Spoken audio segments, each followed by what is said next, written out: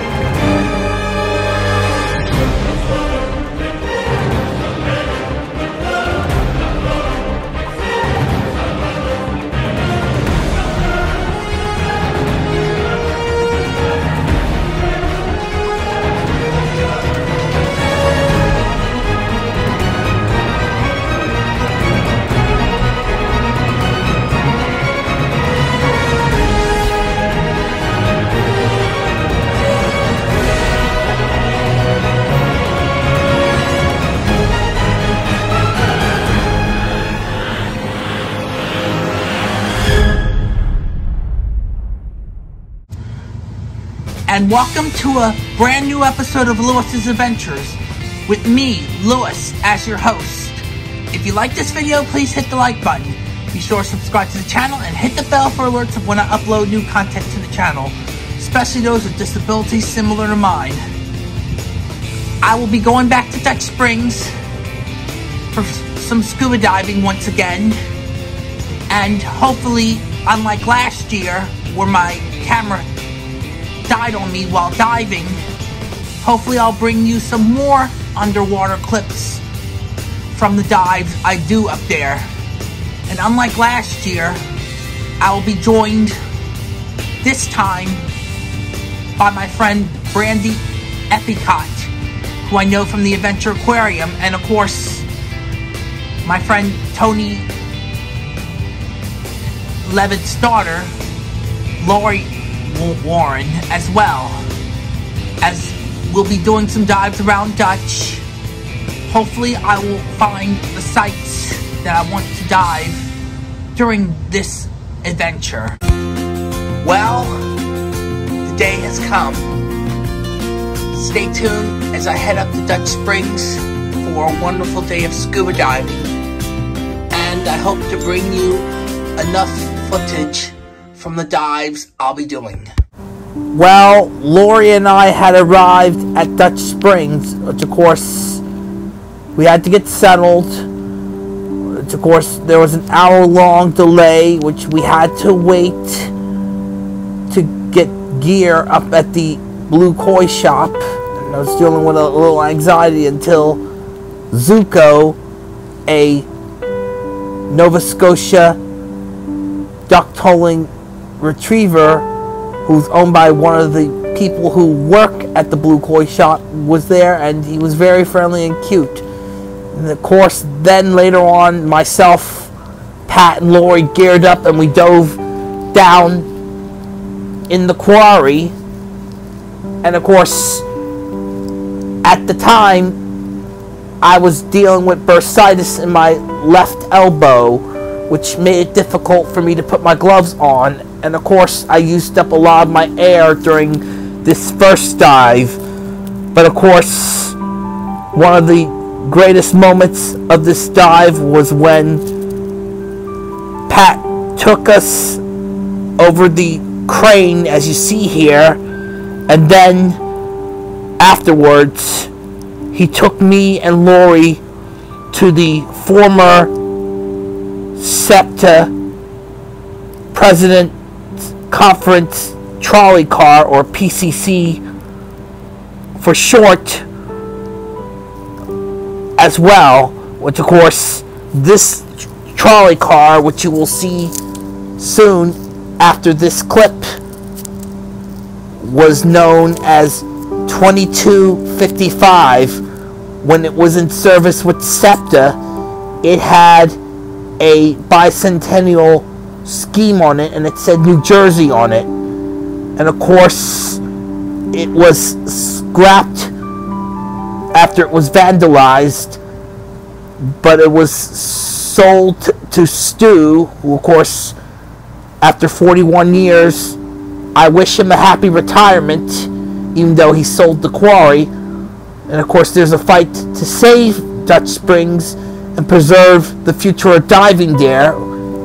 And of course, because the developers of the site who want to make some warehouses said they want to donate the quarry for swimming and scuba diving and other things. Of course, hopefully, someone will come along and accept the offer because I enjoy diving here at Dutch. And of course, I had fond memories of diving at Dutch in 2006, including getting certified to dive there to even Jessy Fredlund getting certified there in 2019. And of course, last year's video. And of course, as you see here, Pat is in front of me as we're inside 2255. I'm familiar with the layout of a PCC card due to the fact I've written them on SEPTA's Route 15 line before. And of course, I leave you to the rest of this track.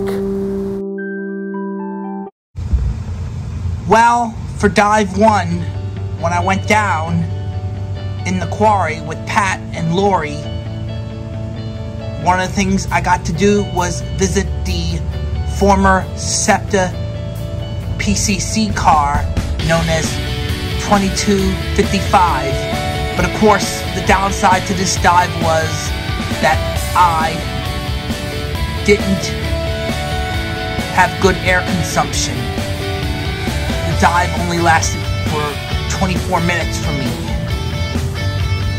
But of course, this was mainly because of being out of the water for a year. Eventually, my air consumption will come back to me like it did prior to what went on in 2020. Even though I had a good wall dive for dive 2, I was battling bursitis in my left elbow, which it prevented me from putting my gloves on. And when we got to the cabin cruiser, my hands got cold when we were close to it. But then after we passed the cabin cruiser, we had a good wall dive. Pat did great in leading us through the wall dive.